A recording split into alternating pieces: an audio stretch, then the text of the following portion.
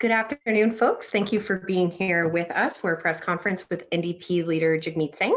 We will take your questions at the end. Bon après-midi. Merci d'être ici avec nous pour une conférence de presse avec le chef du NPD, Jagmeet Singh. On va prendre des questions à la fin. Je vous passe Thanks, la Alana. parole, Jagmeet.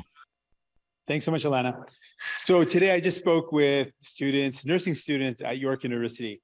On a side note, it was an honor to be back at, a, at York where I where I went to law school, and to, to see the students here was it was a great honor.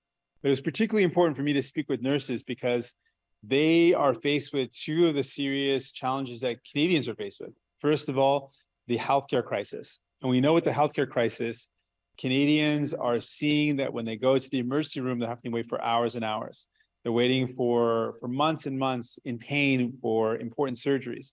And it shouldn't be that way. Canadians should be able to get the care they need when they need it.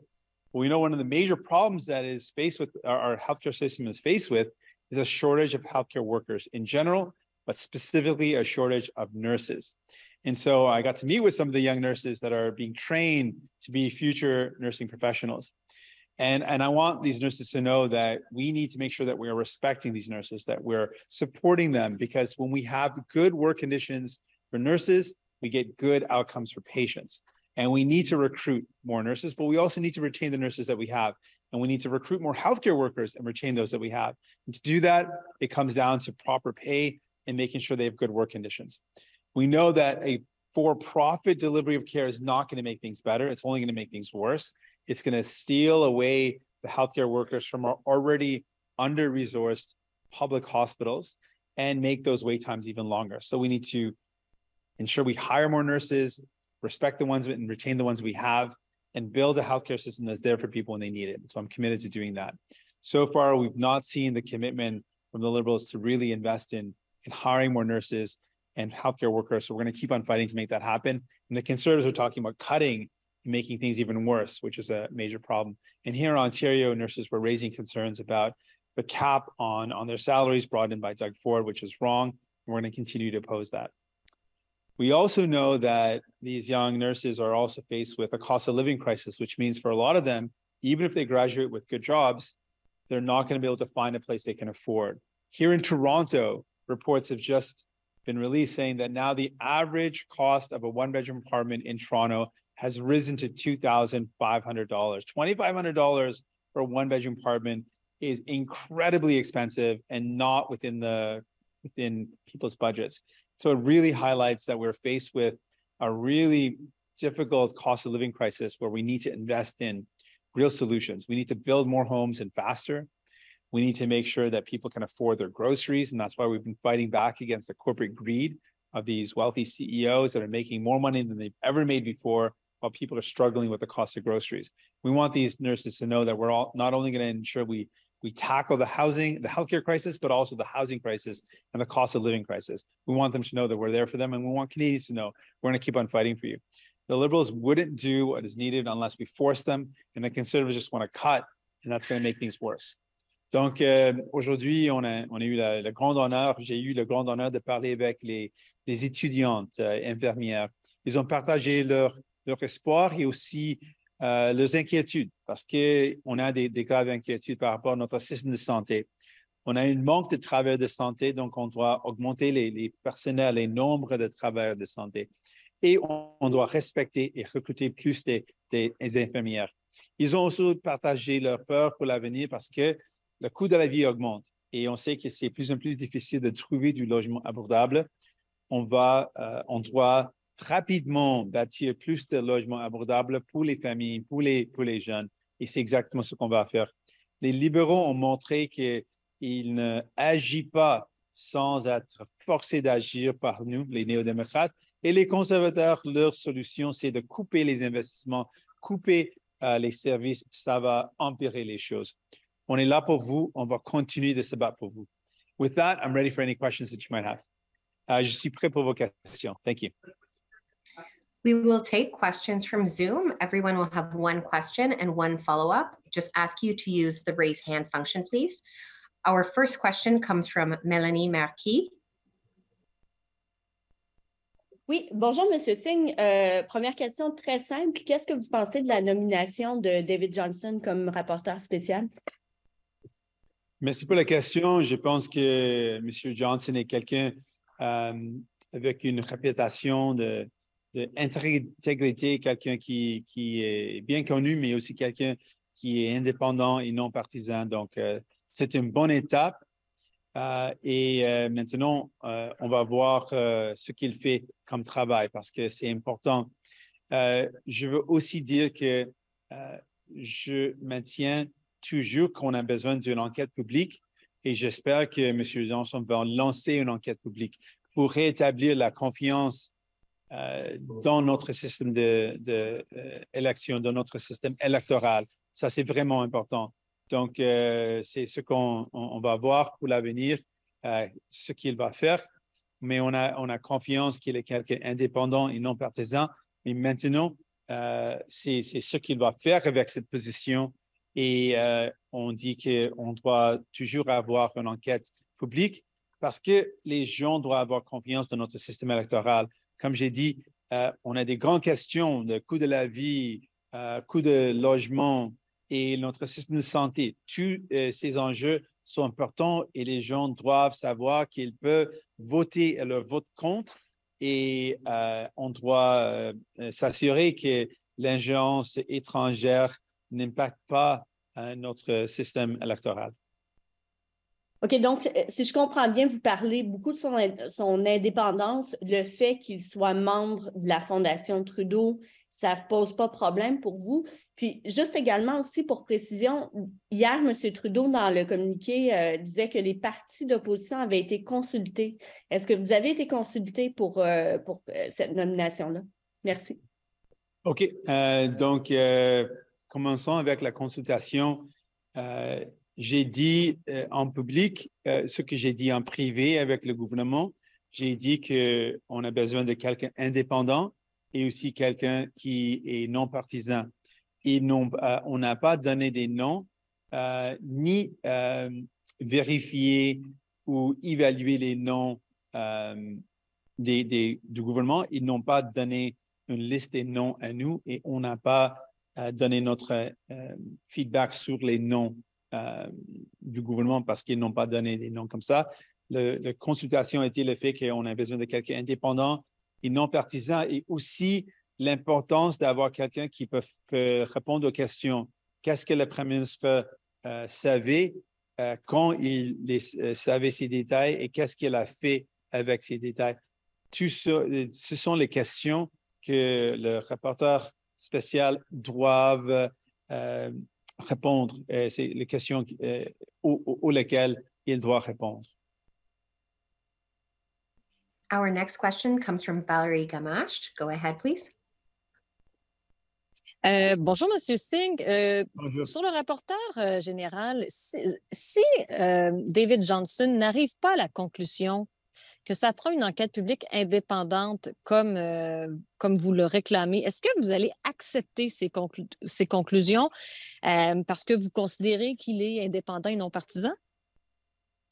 Donc, euh, je, répète que oui, je, pense qu'il est quelqu'un indépendant et non partisan avec une bonne réputation, mais c'est vraiment une question de la confiance de la population. Et pour rétablir la, confiance ou euh, pour, augmenter la confiance des gens dans notre système électoral, on a besoin d'une enquête publique. Donc, j'espère que euh, M. Johnson va utiliser sa position pour, euh, pour répondre aux questions importantes qu'il a, le un mandat pour poser toutes les questions importantes du Premier ministre, du gouvernement libéral et de donner confiance aux gens et cet aspect euh, d'enquête publique, c'est la transparence et l'élément public qui est vraiment important.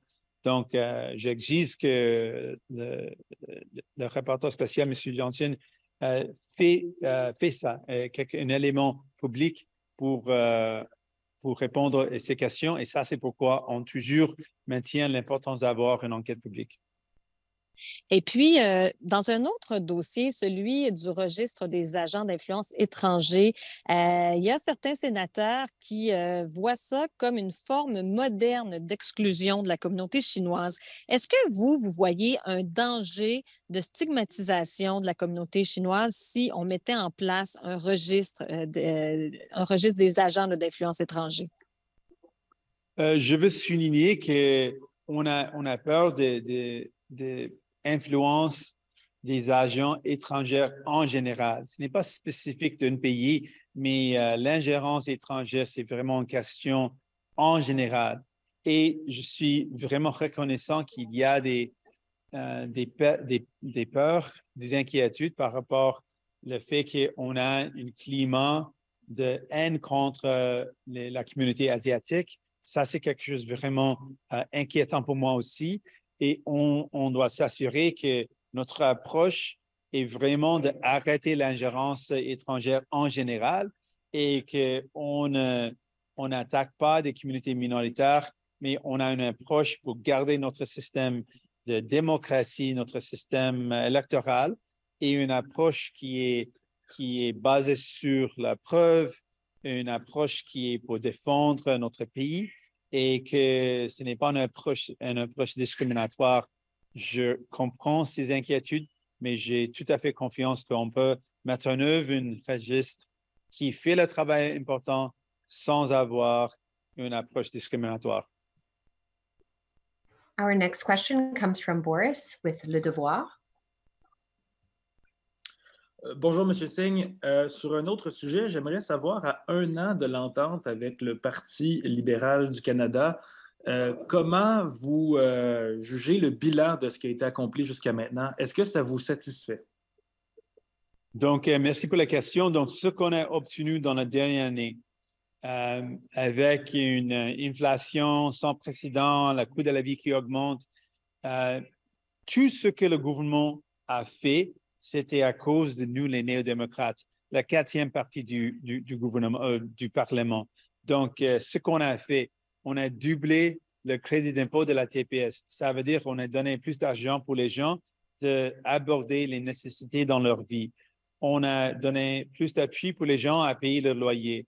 Et on a, on a mis en œuvre un programme de soins dentaires pour les enfants de moins de 12 ans. Donc, tout ça, c'est des mesures pour euh, faire face à la crise d'abordabilité, la, la crise d'inflation, et c'est ce qu'on a fait. Deux éléments, c'était dans notre entente, et un élément était dehors de l'entente, le fait qu'on a doublé le, crédit d'impôt de la TPS. Donc, euh, malgré le fait qu'on est la quatrième partie euh, du Parlement, on était le seul parti qui a eu la force de, de faire les changements. Les autres partis n'ont rien fait dans ce temps historique, des grands défis, des grandes difficultés. Ils n'ont fait rien pour aider les gens. Donc, les conservateurs, le bloc, ne peuvent pas montrer une seule chose qu'ils ont obtenue pour aider les gens. Et on a eu la chance de montrer plusieurs choses qu'on a fait. Et cette année, on va, on va augmenter le, système de soins dentaires pour inclure les enfants de 18 ans et moins, les, les aînés et aussi les personnes qui vivent avec un handicap. Donc, euh, ça, c'est une grande expansion de notre système de santé et c'est quelque chose qu'on va, on va obtenir pour les gens. Donc, euh, je suis fier de ce qu'on a fait, mais je ne suis pas satisfait parce que je sais qu'on a, on a besoin de plus d'actions. On a besoin d'une réforme de notre assurance emploi pour être là pour les gens si on tombe dans une récession. On a besoin de plus d'aide pour trouver des logements abordables, plus des actions pour bâtir plus de logements abordables on a besoin de plus d'actions pour notre système de santé. Donc, euh, je ne suis pas satisfait, mais je suis fier qu'on ait obtenu des grandes victoires pour les gens. Je comprends que la réponse est oui, euh, que vous êtes satisfait. Ben, depuis un an, vous avez vu combien, euh, comment les libéraux agissent. Est-ce que vous pensez que ça va se maintenir dans le futur, que vous serez encore capable pour trois ans de maintenir l'entente, comme euh, comme c'est convenu, pour encore deux ans, pardon, jusqu'en 2025? Donc, ce n'est pas une, euh, réponse qu'on peut, qu'on peut faire aujourd'hui. Euh, à ce moment, on va continuer de se battre pour les gens. On va continuer de mettre la pression pour prendre contre le gouvernement et on va continuer de mettre la pression pour avoir une enquête publique, par exemple, dans cette cet contexte maintenant avec l'ingérence étrangère et on va continuer de mettre la pression pour obtenir ce qu'on a forcé le gouvernement de dire dans notre entente. Donc, on va continuer de se battre pour les gens, on va continuer d'essayer de, gagner des victoires pour les gens. Et pour le moment, c'est exactement ce qu'on va faire. Et c'est notre priorité pour aujourd'hui, c'est la santé, l'abordabilité et s'assurer qu'on rende compte le gouvernement. The next question comes from Marina von Stackelberg with the CBC. Hi there. As someone who represents a Vancouver area riding, what is your reaction to the Globe and Mail story out today that alleges China's diplomats intervened in the last municipal election in Vancouver? Yeah, it's deeply concerning. Um, from what it sounds like, it, it targeted um, Kennedy Stewart, uh, the, the former mayor of Vancouver. Uh, as someone who represents Burnaby, a neighboring city, the idea of the of uh, a foreign government influencing our municipal election is deeply concerning. It should not be happening. And it's why we, again, we've been calling for a public inquiry. We want to make sure that Canadians have confidence in our electoral system because people's voices matter, the, their votes matter. And it matters because we're seeing the impacts of the decisions of government. The fact that we're living in a housing, uh, housing, housing crisis and a healthcare crisis. The fact that these nurses that I met with today are worried about their future and that they're not sure what's going to happen. We want to make sure that these nurses have a bright future, that they're able to live in the communities where they grew up, and that they're able to work in a healthcare system that's there for them. And to do that, we need to have decisions being made by government that actually put people as a priority. And people need to know that their vote matters, and they, they need to know that their elections are free from foreign interference. And that's a big concern. Do you trust David Johnston can do his job as special rapporteur, and will you accept what he decides should be done? Uh, I've said, and I, and I, I maintain that uh, Mr. Johnson is someone uh, of, of, strong reputation, of integrity, and he is someone that's uh, independent and, and nonpartisan. And so I, I certainly trust him to do his work. I want to make sure that his mandate includes uh, all the information important to assess what the prime minister knew uh, when the prime minister knew that information and what he did about it. And that it includes really important recommendations about what we need to do to safeguard our democracy. Uh, but despite all that, I still maintain that we need a public inquiry because Canadians need to have confidence in our elections. And like I said, there's really important questions in front of us about affordability, about our healthcare system, about how we build a healthcare system that's there for everyone, how we hire enough healthcare workers and respect those workers. These are very important questions that Canadians should have full confidence their vote matters. And that's why restoring confidence in our electoral system is so important so people continue to participate and so that their votes are reflected in decisions that actually improve their quality of life and respond to the problems that they're faced with. Our next question comes from Dylan Robertson with the Canadian Press. Uh, hi, Mr. Singh. Thanks for taking our questions. Uh, just building on uh, what you just spoke to about uh, the integrity of uh, David Johnson, I'm just wondering if you could comment on uh, the bloc and the Tories, you know, noting that Johnson was referred to as a family friend by the Prime Minister in 2017. Mr. Blanchet says that he's close to Trudeau. it seems to be you're saying he's he's a man of integrity and that what the opposition parties is saying here doesn't actually follow well, what has become really clear is in this whole very serious matter of foreign interference that the other opposition parties and frankly the liberals as well have been more focused on scoring political points than really focused on solutions around protecting our democracy. And that's why we've been calling for an independent process. And, and while we still maintain we need a public inquiry to restore public confidence, to respond to the concerns that Canadians have, and to make sure that it's a public um, element so that people know what's going on, this transparency. Uh, I do, though, maintain that uh, Mr. Johnson is, is someone of integrity. Someone has shown in his career that he is someone that is that is nonpartisan and trustworthy, and and so I I think that it is a positive step uh, his appointment. But I do want to make clear that I I want to make sure that that Mr. Johnson has a broad enough mandate to answer the fundamental questions that Canadians have. What did the Prime Minister know? When did he know it? And what did he do about it when it comes to foreign interference? And I still believe that Mr. Johnson has to launch a public inquiry to have that public and independent response that provides Canadians with confidence in our electoral system. Thank you. And just on that note, is this process not a waste of time in that regard? If you feel that there must be a public inquiry, uh, why not just jump to it? Why have the special rapporteur say what you want to happen already? Do you think it's a waste of time? Well, I have said from the beginning that there should be a public inquiry, and I think that's what the government should have announced. They've announced instead a, a special rapporteur, and and the person named Mr. Johnson is someone that I think is is a credible person, is someone that's of integrity, nonpartisan, and independent. So I trust them to do the work. I still believe that what the special rapporteur should do is launch a public inquiry to restore Canadians' trust, and and we'll we'll see the work that's done. I'm very interested in the work that the special rapporteur does, that Mr. Johnson does, and I'm interested in the solutions to protect our democracy. That's what my focus is. And again, I will continue to uh, raise concerns that we need a public inquiry, and we'll see the work that Mr. Johnson does. This concludes our press conference.